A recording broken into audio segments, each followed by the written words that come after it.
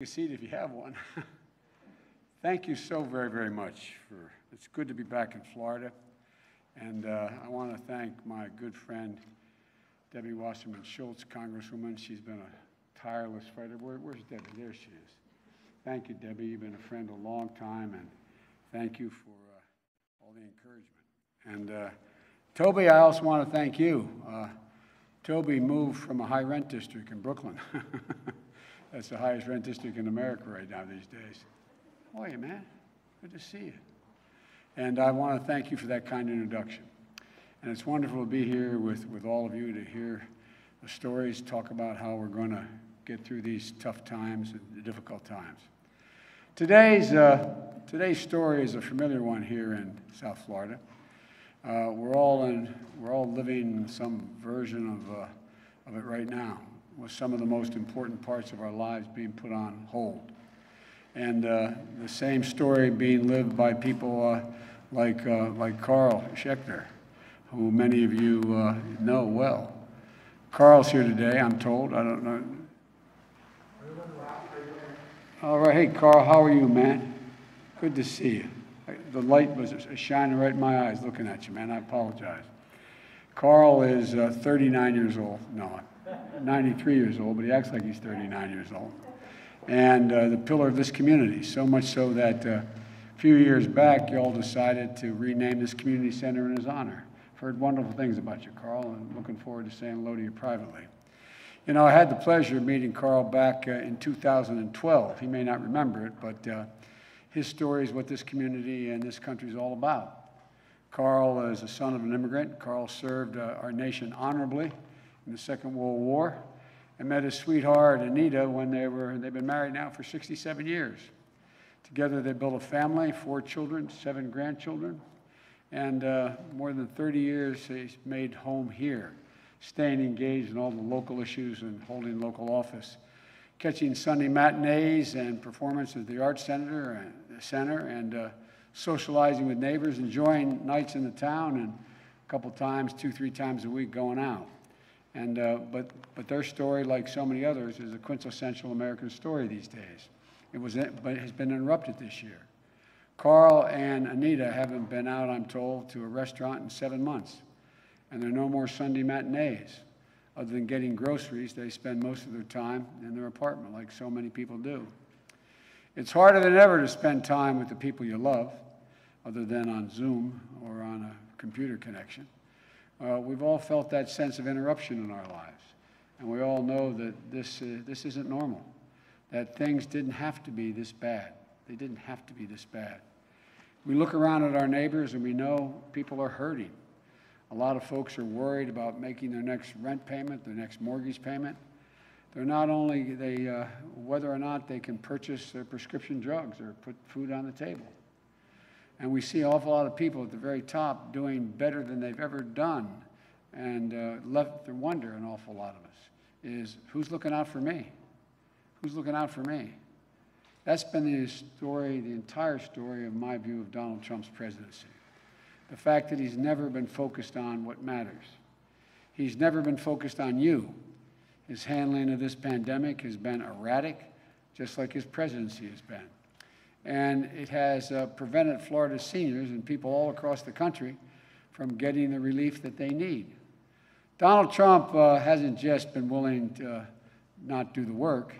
I think it's that beyond that, I'm not sure he cares about delivering any real help. I think it's both. People say he's not willing to do the work. Well, I don't think he cares much about it. While you're losing precious time with your loved ones, he's been stuck in a sand trap in one of his golf courses. And when he does decide to lift a finger, it isn't to help you. It's to propose new tax cuts for billionaires. And I'm not, that's not hyperbole. That's not hyperbole. A hundred wealthiest billionaires in America are expected to get another $30 billion tax cut he's proposing. We know what happened the last time a tax cut was passed in 2019, or uh, 2017, when he came into office. Pharmaceutical companies got billions of dollars in tax breaks and then they turned around and raised prices for medicines that you rely on to stay healthy. And they're still doing it, even during the pandemic. And quite frankly, it's unconscionable. But Trump doesn't really care about lowering the health care costs because uh, he's beholden to the health insurance companies and the drug companies.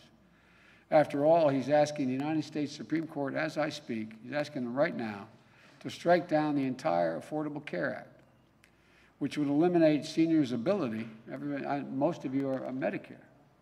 But it would eliminate your ability, and that act we passed, I was able to help put in place, was that you'd have preventative services and annual checkups and mammograms for free under Medicare. If it gets struck down, that gets wiped out as well the rise in prescription drug prices for millions of seniors and put Medicare trust fund at risk. And by the way, we used to talk about the Medicare trust fund. I say the Republicans want to eliminate it, but remember, Debbie will remember when he's not a bad guy in terms of his personality, but when the former Speaker of the House uh, became Speaker, what did they do? They proposed a half a billion dollars cut in Medicare from the start, right out the bat. These guys mean what they say. This president, as Debbie pointed out, has pledged to terminate the tax that's dedicated to financing Social Security. terminated.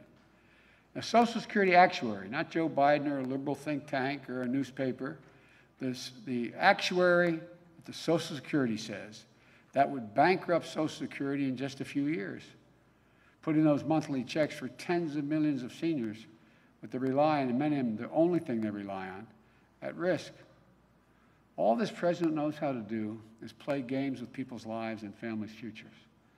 Last week, he announced he was, quote, walking away from the negotiations that were never, he never fully engaged in, like he's not walking away, he never fully engaged in them, to provide any additional relief for American families. Debbie, working like the devil in the house, they passed the HEROES Act. They passed two other pieces of legislation earlier to provide for the ability to keep people from going out of business, people being able to be kicked out of their homes, et cetera. He turned his back on small businesses that are struggling to keep their doors open. He turned his back on firefighters and police officers and first responders who depend on local budgets, but local budgets are being broken and they have to be balanced. I'll just take note, make note here. When we inherited the largest recession, the greatest recession since the Depression, what happened? The president put me in charge of the Recovery Act, $800 billion. First thing I was able to do, and I was able to manage it myself, was that put $147 billion and help state and local authorities be able to balance their budgets, not have to fire police officers, not have to fire firefighters, not have to fire first responders, not have to close down health clinics. Local governments are strained to the breaking point. He turned his back on educators and school children standing in the way of support to get them PPE and cleaning supplies and ventilation needed to reopen schools safely, which we could do if we funded it. He turned his back on every single worker whose job hasn't come back. And now he says he wants a deal.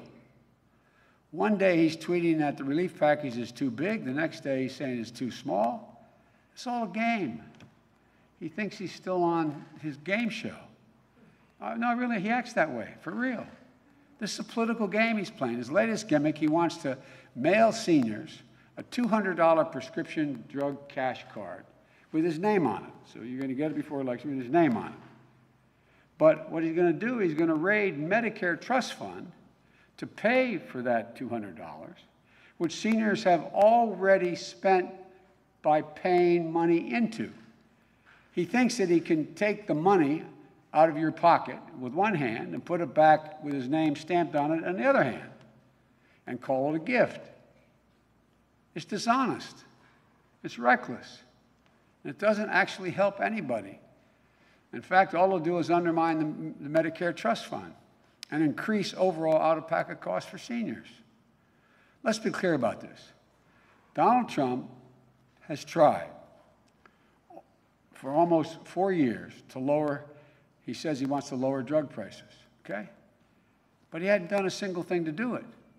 In fact, the House of Representatives passed a bill, Debbie supported, that would bring down prescription drug costs across the board, giving Medicare the power, in Washington, Medicare Department, the power to negotiate, to negotiate with the drug companies and say, we're not, if, if an aspirin is going to cost, if they're being charged, I'm making this up, And if an aspirin is going to cost two, two cents an aspirin, they say, we're only going to pay you a penny an aspirin. They're either going to do it or not. They're going to have to do it. We've been fighting to get, Debbie and I and others have been fighting to be able to do this for years. It would lower drug prices. What did President Trump do? He said if it passes, he'll veto it, threaten to veto it. Folks, Donald Trump's chaotic and divisive leadership has cost us far too much. 215,000 dead from COVID 19 and rising. Experts say we'll lose nearly another 200,000 lives in the next few months unless he fundamentally changed course.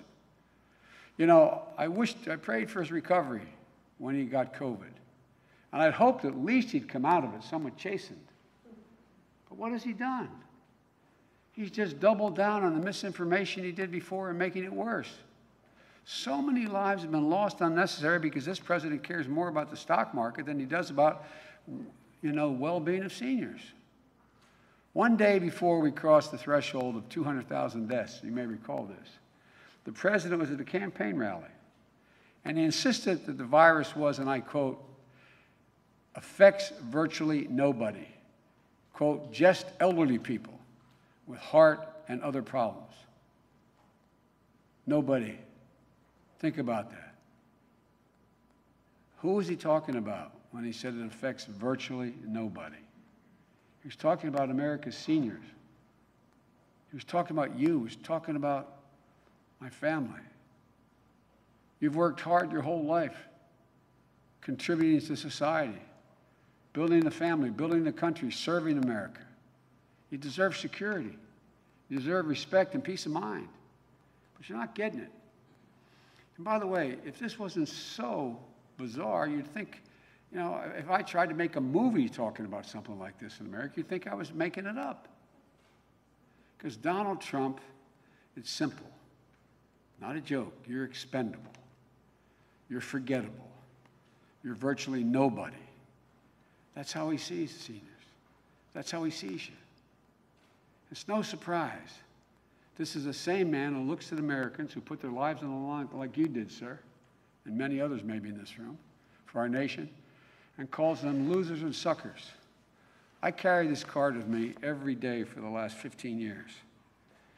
And the back, it's my schedule. In the back of the schedule, I have a black box. It says Daily Troop Update. The number of troops who've died in Iraq and Afghanistan 6,924. Not roughly 6,900, 924, because every one of these fallen angels left a family behind, deserves to be remembered. Everyone. U.S. troops wounded in Iraq and Afghanistan. 53,000 as of today, 194. Everyone. We've only one sacred obligation in America to care for those we send to war and equip them. When they come home, take care of them and their families. And what did he say? losers. My son volunteered to go to Iraq for a year. Before that, he had been in Kosovo for eight months. Best of my knowledge, the only foreigner has a war monument and a major highway in that country named after him for his contributions helping them set up their criminal justice system. Then he volunteered to go to Iraq as Attorney General for a year. My son was not a loser and all those who left behind. He's passed away, but all those left behind, they were heroes. They were patriots. I imagine that's one of the reasons why six four star generals and a whole lot of others have endorsed me who used to work for him. Because they know where his heart isn't. That's how he sees us. That's the attitude he's brought toward this whole crisis. This is the same man, you may remember, when he was told we were averaging 1,000 lives lost per day. Remember what he said? He said, It is what it is. Such concern and empathy. It is what it is. Well, it is what it is because he is who he is. That's what is what it is. This president, as Debbie referenced, back in January, when he was being briefed by the intelligence community. He said, I never read the briefing, didn't know what was in it, didn't have time. Well, Desai, because ego moved him to try to convince a famous journalist to write something good about him. What happened? Bob Woodward interviewed him. He acknowledged that he knew it was a dangerous and highly communicable disease, but he did nothing. He didn't do a thing. He didn't tell you. He didn't tell any American. Why? He told Woodward on tape, told Bob Woodward he didn't want to panic the American public. Americans don't panic. Trump panics. His reckless personal conduct since his diagnosis is unconscionable. The longer Donald Trump is president, the more reckless he seems to get. Thank God we only have three weeks left to go. Dr. Fauci, most respected doc in the country on these issues. You know, referred to the president's announcement on the Supreme Court in the Rose Garden using the White House as a backdrop for political events. He said it was a super spreader event. How is Trump responding? He's running a national ad quoting Dr. Fauci out of context. Fauci had said way back in March, referring to public health officials across the nation, he said, quote, I can't imagine anybody could be doing more, end of quote, meaning public health officials. Yet the Trump campaign, which is not unusual because I've had a piece of it, Trump campaign has deliberately lied. They have put Dr. Fauci in their ad asserting that Fauci was talking about Trump when he said couldn't have done any more. But Fauci's a man of integrity. After that ad came out saying, he said, I did not give permission to use that quote, and I wasn't referring to the president.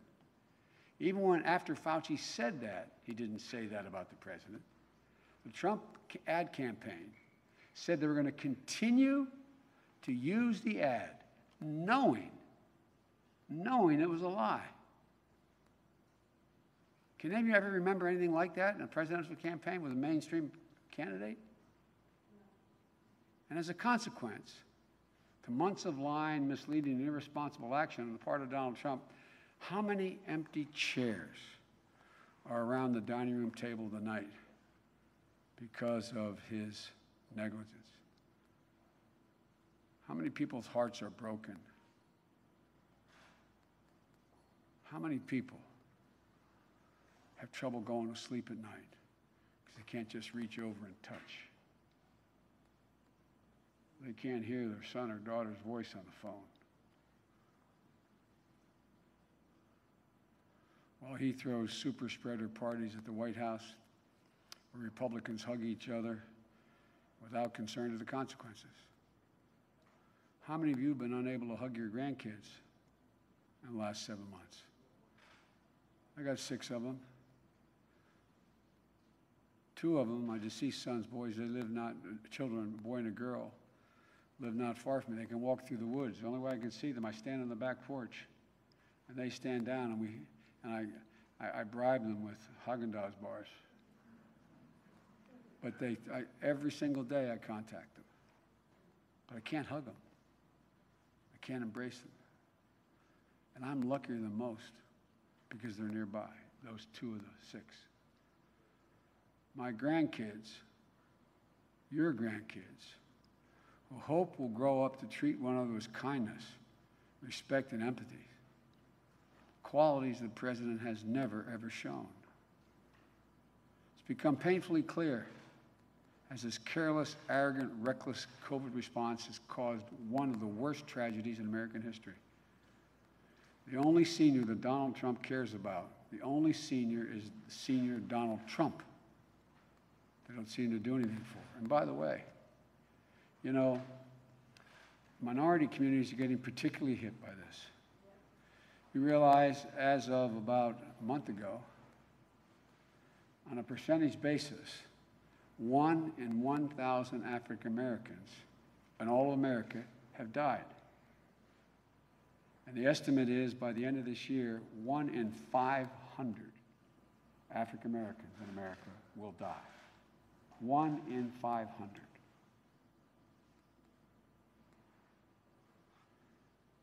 He doesn't do something quickly and we hit 400,000, that is more people, the same number of people, that died in the war you fought over all four years.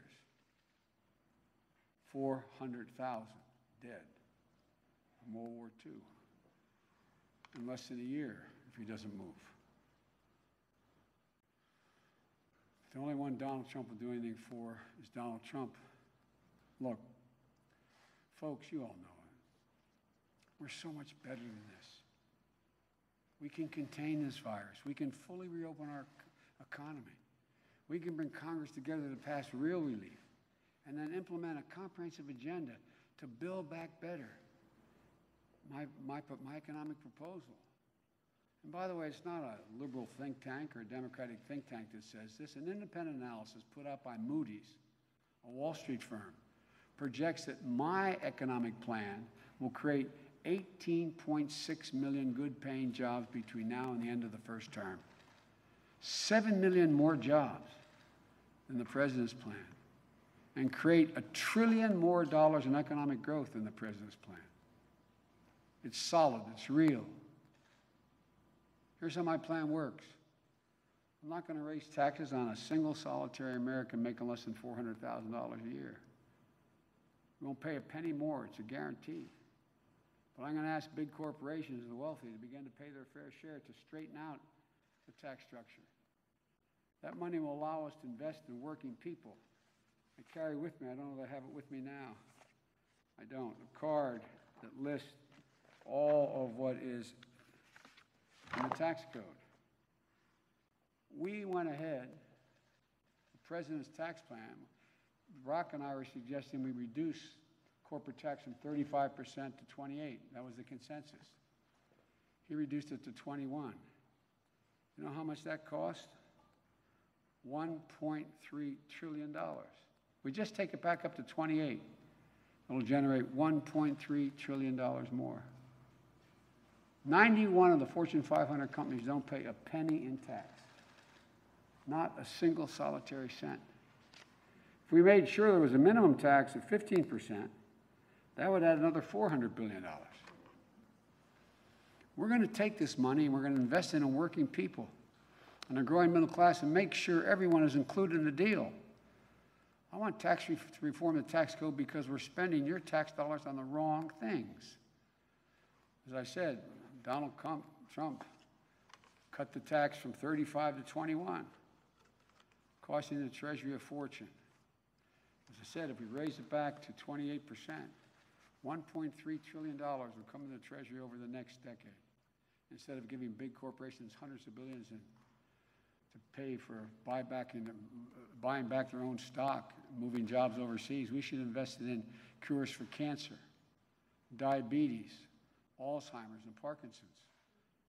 That's why I propose giving the National Institute of Health $50 billion over the next four years to go after cancer, diabetes, Alzheimer's, and Parkinson's. If we do not, and no drug company has the capacity to do it, if we do not find an answer to Alzheimer's, within the next 19 years, every single solitary bed that exists in the United States of America now will be occupied by an Alzheimer's patient. Look, my dad used to have an expression. He'd say, Joey, if everything's equally important to you, nothing's important to you. You have to have priorities. What are our priorities? Our priorities are to make sure that everybody in America has an equal shot.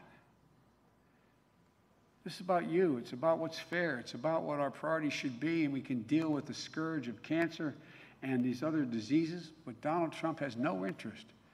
In fact, he wants to do the opposite.